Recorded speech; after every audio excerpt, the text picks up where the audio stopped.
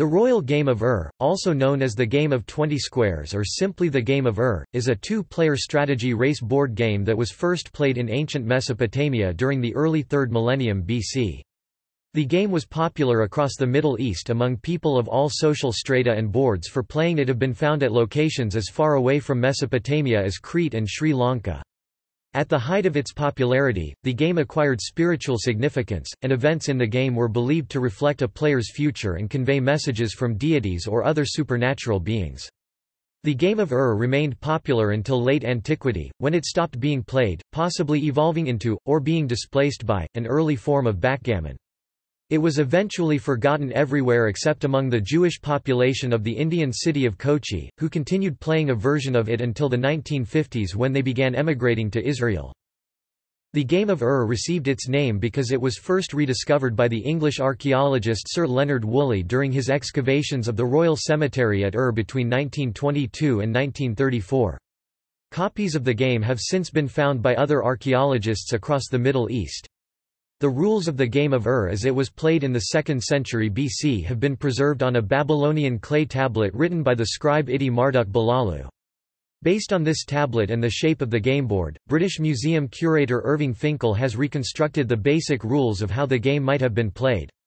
The object of the game is to run the course of the board and bear all one's pieces off before one's opponent. Like modern backgammon, the game combines elements of both strategy and random chance.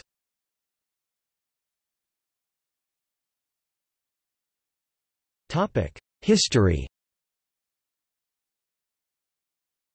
The game of Ur was popular across the Middle East and boards for it have been found in Iran, Syria, Egypt, Lebanon, Sri Lanka, Cyprus, and Crete. Four gameboards bearing a very close resemblance to the royal game of Ur were found in the funeral chamber of the tomb of Tutankhamun. These boards came with small boxes to store dice and game pieces and many had Senet boards on the reverse side so that the same board could be used to play either game and merely had to be flipped over. The game was popular among all social classes.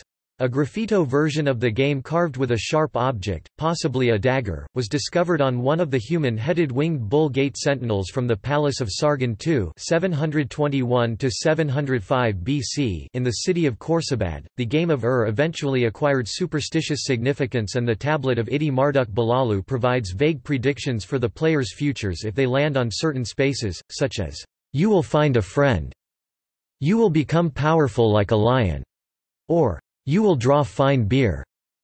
People saw relationships between a player's success in the game and his or her success in real life. Seemingly random events such as landing on a certain square were interpreted as messages from deities, ghosts of deceased ancestors, or from a person's own soul. It is unclear what led to the game of Ur's eventual decline during late antiquity. One theory holds that it evolved into backgammon, whereas another holds that early forms of backgammon eclipsed the game of Ur in popularity, causing players to eventually forget about the older game. At some point before the game fell out of popularity in the Middle East, it was apparently introduced to the Indian city of Kochi by a group of Jewish merchants. Members of the Jewish population of Kochi were still playing a recognizable form of the game of Ur by the time they started emigrating to Israel in the 1950s after World War II. The Kochi version of the game had 20 squares, just like the original Mesopotamian version, but each player had 12 pieces rather than 7 and the placement of the 20 squares was slightly different.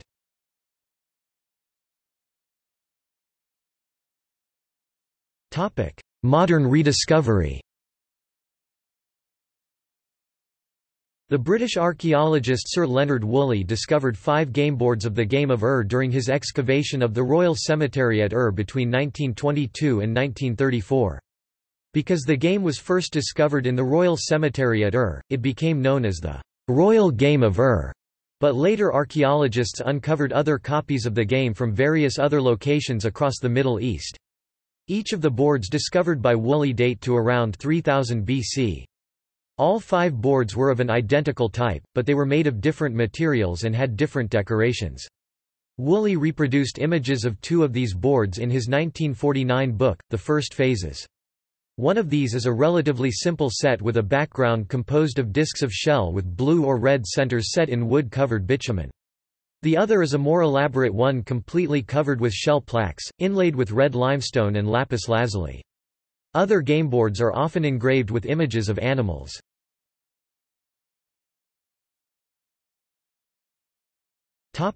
Gameplay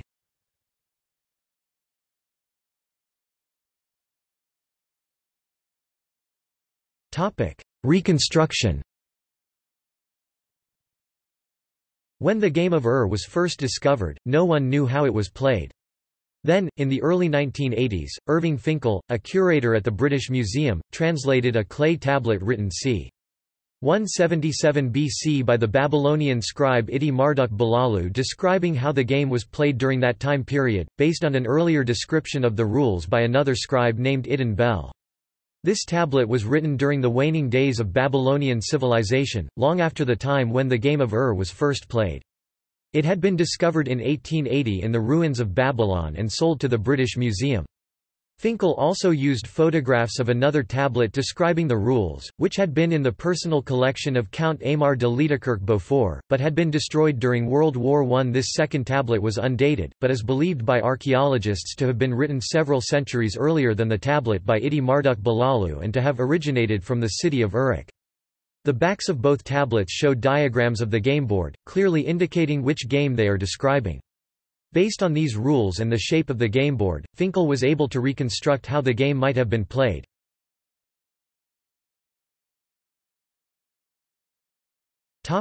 Basic rules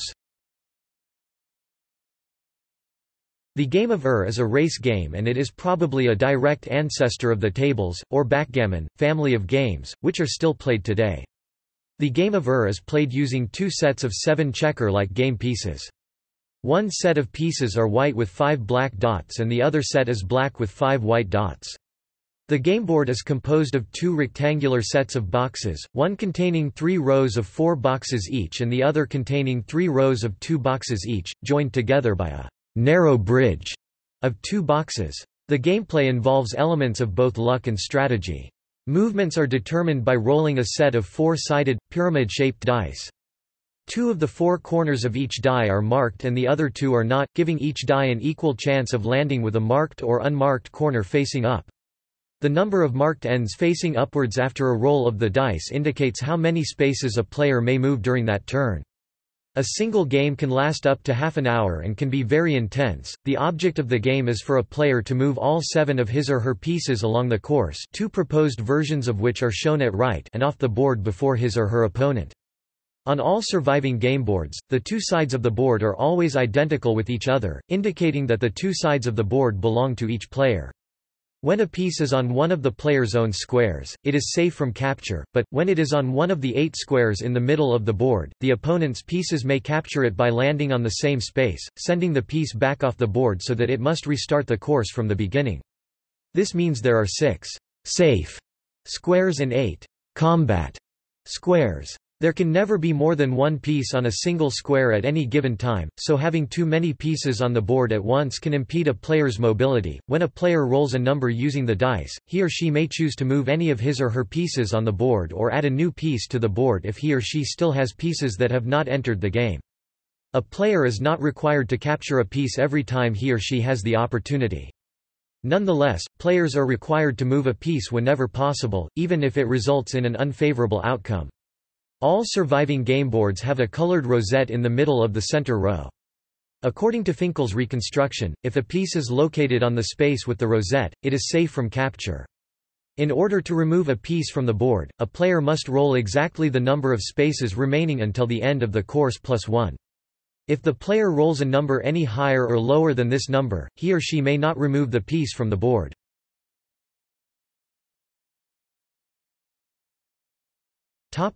Gambling One archaeological dig uncovered 21 white balls alongside a set of the game of Ur. It is believed that these balls were probably used for placing wagers. According to the tablet of Itti Marduk Balalu, whenever a player skips one of the boxes marked with a rosette, he or she must place a token in the pot.